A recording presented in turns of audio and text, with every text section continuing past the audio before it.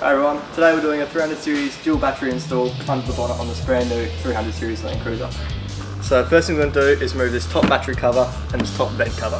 So what we're going to do is remove this top battery cover, this vent cover and the battery hold down. So what we have to do is push these two push tabs back, lift the battery cover and place off to the side. Next with this vent cover, all you have to do is there's one little push down clip here, push it right to the ground and it just pops up like so. There's also a little push tab here, push it to the back, lift it up, so you pop these two little clips out here, to the end, just pulls out and folds over like so. Now for the battery hold down, all there is is these two little bolts on either side, like so, so there's two of them.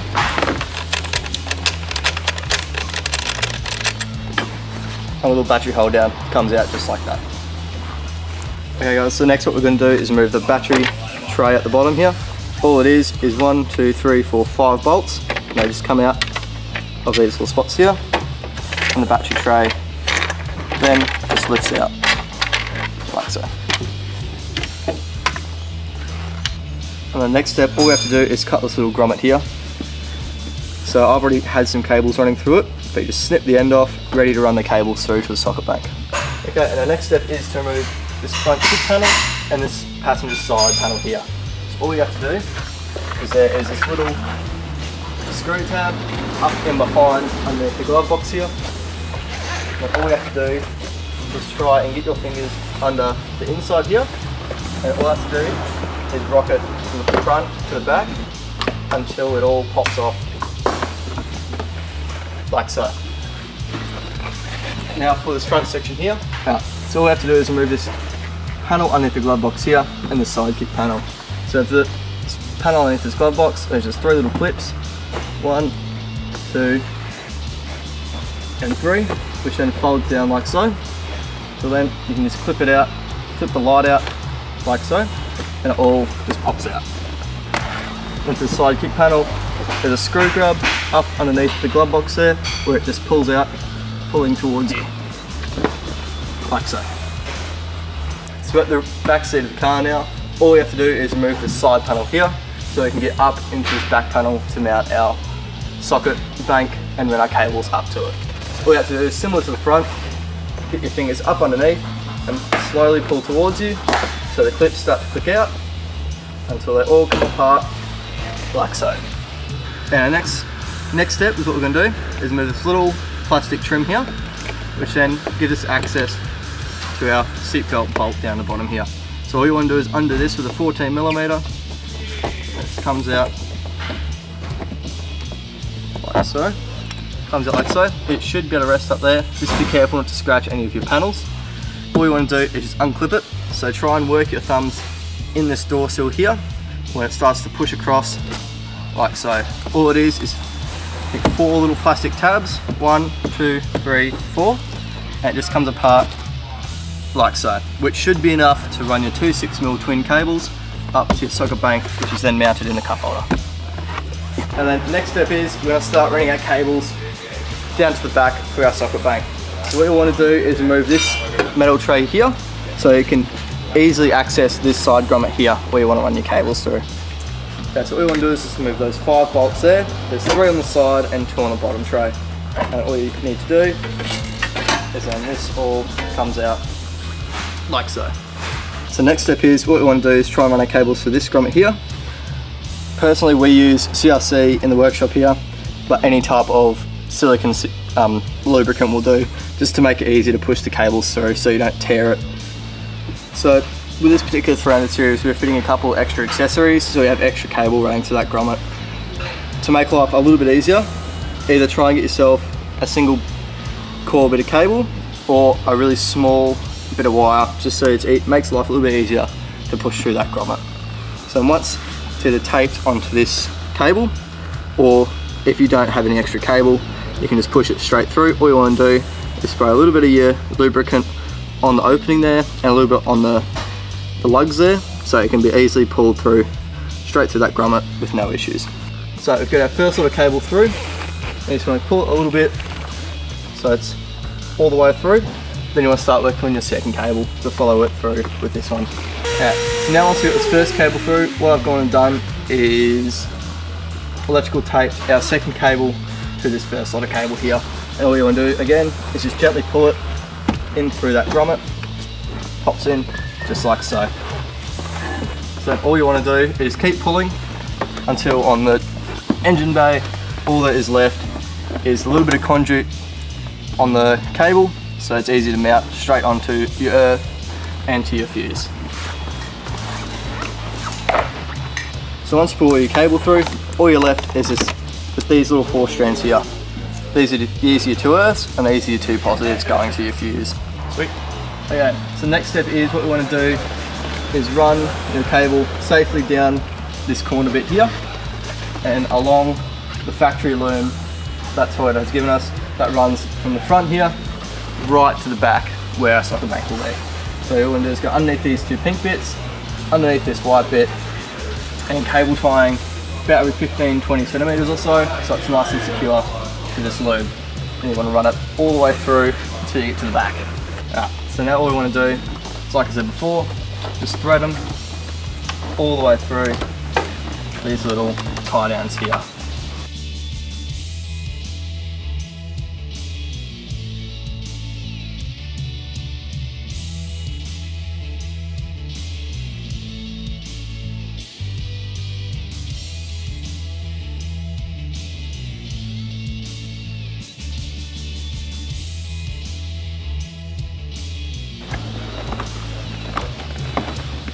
So once it's all thread through those three clips, all you want to do is just pull the excess through, but making sure you have a nice bit of a loop up here. So it's not pulling tight and not getting caught in anything.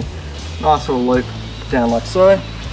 Pull the excess through, and then you can go through and cable tie up to this main power loom here.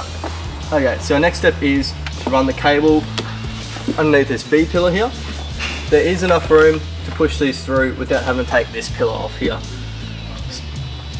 But once you get to this area, I would suggest taking this off. All it is, is it clips into that pink bit of plastic like so. All you need to do is get your fingers in here. In this side, all you need to do is pop it up like so. And it just lifts up like that and gives you a heap of room to run your cables up to the back there. Okay, next step is, what you want to do is pop off this cup holder here. All it is, is get your hands inside of it, and it just pops up like so.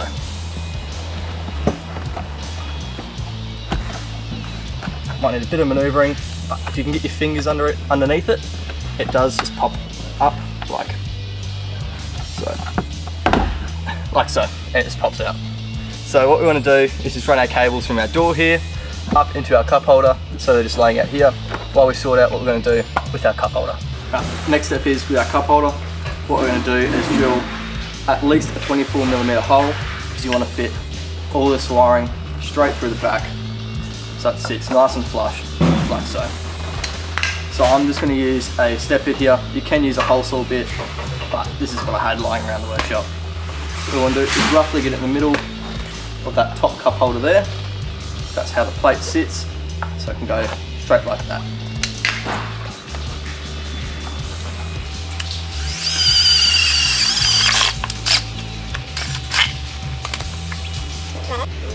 So if for whatever reason you don't have another hole saw big enough to fit the Anderson plug through, I'm going to show you how to quickly and easily de-pin these Anderson plugs.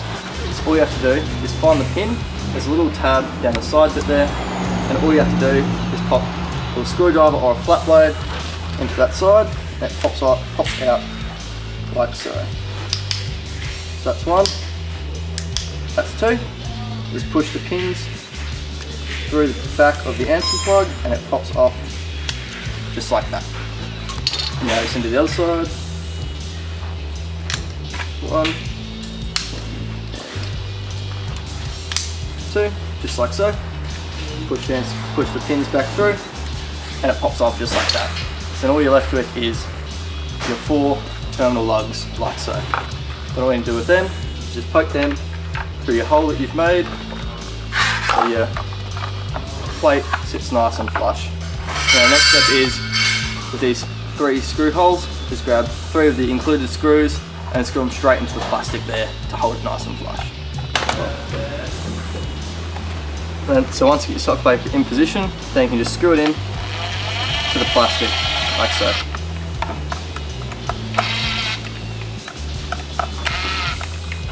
Just like that. And it sits nice and flush in your cup holder. And now with our socket maker all mounted on our cup holders, all you want to do is grab your two Gray Anderson plug plugs and all you need to do is just plug the two ends into the Anderson plug. So your red is your positive and your black is your negative. So into one side and black into the other side.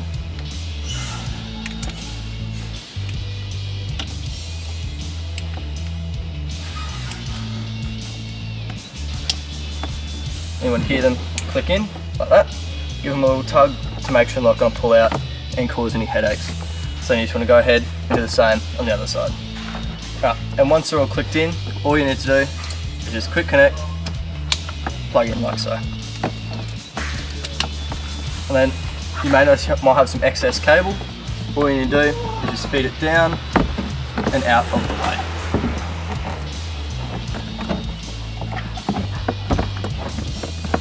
Once you get to here, all you need to do is click back in your cup holder, like so. Once you finish installing your cup holder and tidying up the wiring, all you need to do is put, pop all your plastics back into their clips, and put all the plastics back in down the side here and at the front, then we can move on to the battery and dual battery in the front. Okay, and next step, once you've put all your plastics back together and you back up to the engine bay, what you want to do is with the two earth terminals, on this little nut, this little bolt here, that comes off and these sit nice and comfortably around and there like so, with a couple of cable ties. Alright, so once it's all together like that, nice and cable tied up, you want to keep your positive cables just up out of the way while I put the metal tray back in.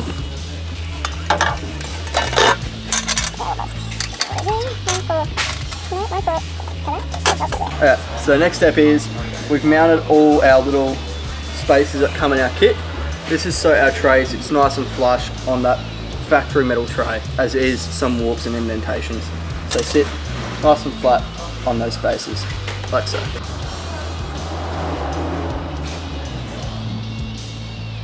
Alright, so now we're going to fit our Accelerate battery hold down tray, which just sits on top of that factory tray and on top of our little spaces there.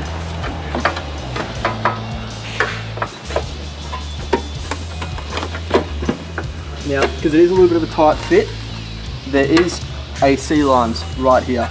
So you want to guarantee there's a little bit of space. Our trays do come with a little bit of foam on that outside edge, but you do want to be wary that you do give a little bit of space just so when the body flexes, it's not going to rub through on your AC lines and cause a hole and cause a leak. So now once we have our bottom tray mounted and in, what you want to do is start first with this lead acid start battery and then our lithium secondary battery.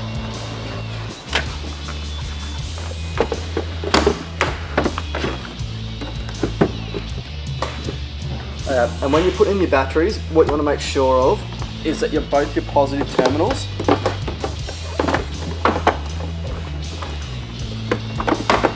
so that both your positive terminals are at this end. Because with your factory system, it bolts on from this angle, and then with our top tray, all our cables come in this way to our positives here. Okay, so going in next is our Accelerate top tray, which just slides on top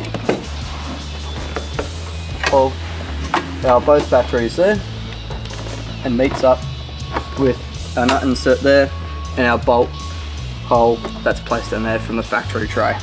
So I'll go ahead and I'll scroll these down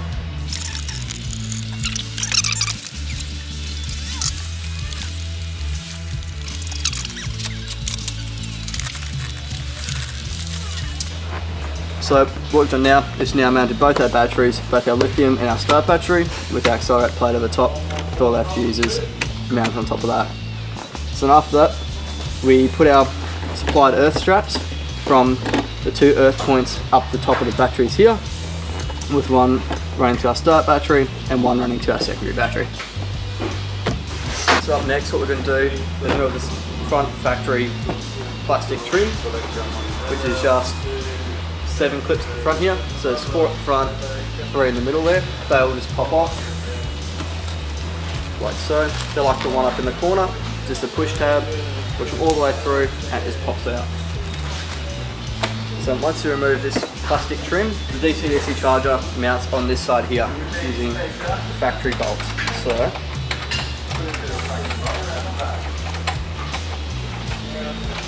there's one bolt here which holds the DC-DC charger on using that bolt hole there.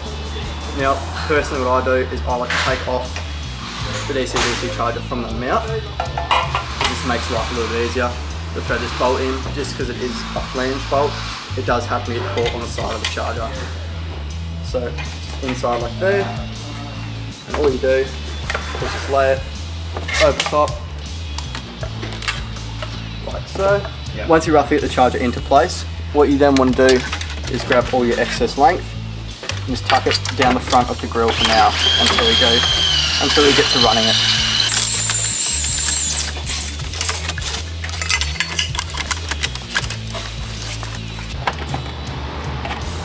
Okay, so once you have all your tray all mounted, then we, I like to bolt DC-DC charger onto that tray.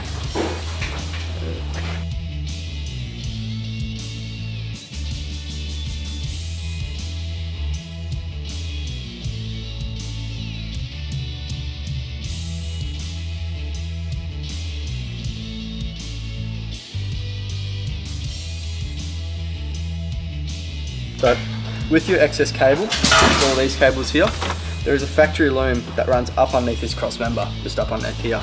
So if you put your hand up underneath here, you'll feel a factory loom that runs the whole length across and it comes out just to here. Which then you can run down behind the headlight, underneath the airbox and up to our fuses.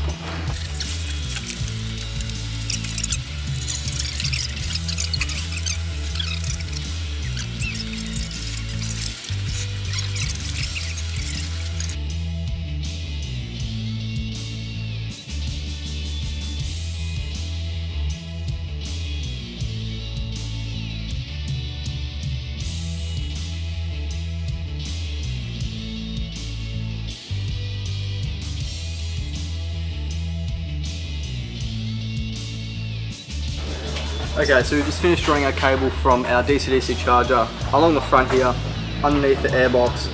So now we're here with all our cables. We have our two positive cables about to hook onto our fuses. We have our earth cable for our solar and our earth for our DC-DC charger. And we have our ignition trigger. So with our earth, there is a bolt just underneath the horn here, which we're going to bolt this onto. With our ignition, we're going to run it to this fuse box just here, which if you pop off there's some cables running through a little gland there. So what we're going to do is run this up along here and run it up through that gland where those cables come through, keep it nice neat looking factory. Whereas with these cables, we're just going to run up here with the factory harness to the fuse box and then up into our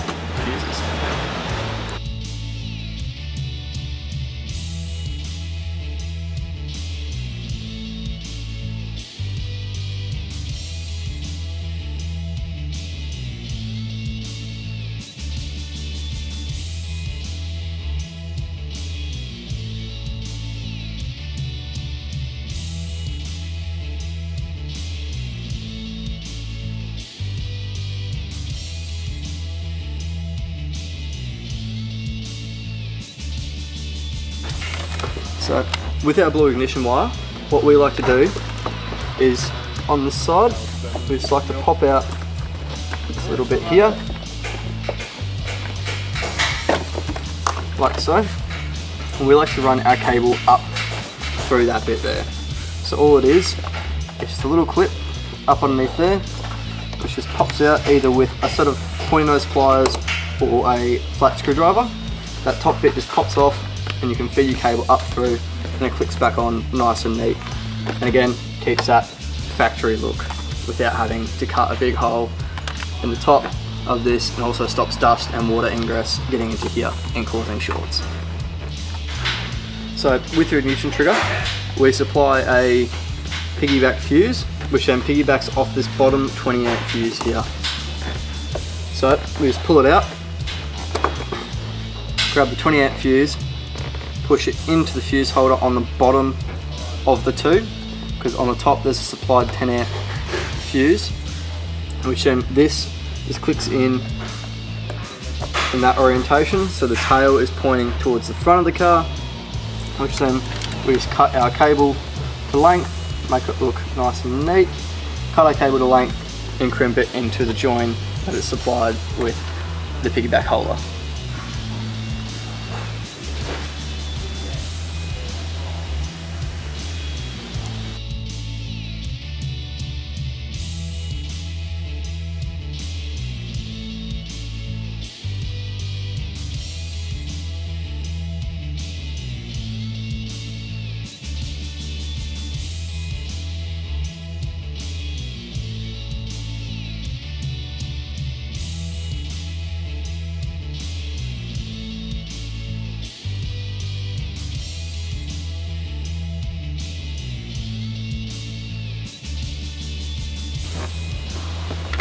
And then so with this one, with the factory plug, all you want to do to get it separated to fit our new battery terminal on our battery is just unscrew that nut there.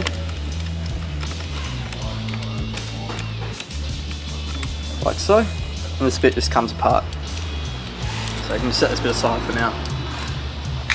And then once you've connected up all your earths and all your auxiliary power, you then put this back onto the start battery, start the car, and happy days.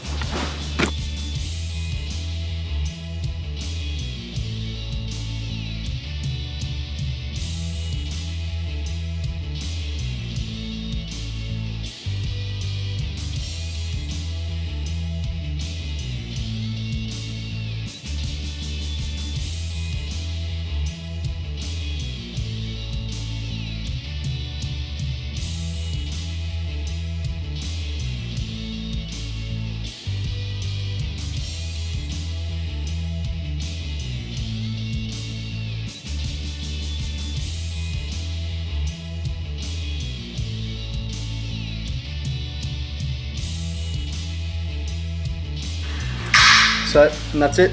Once you connect everything up to your terminals, your dual battery system in the series is done.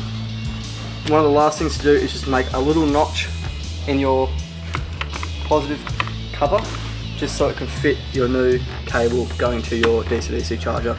But once that's done, all your covers and everything back on, you're right, and your 300 series now is fitted with an Accelerate dual battery system.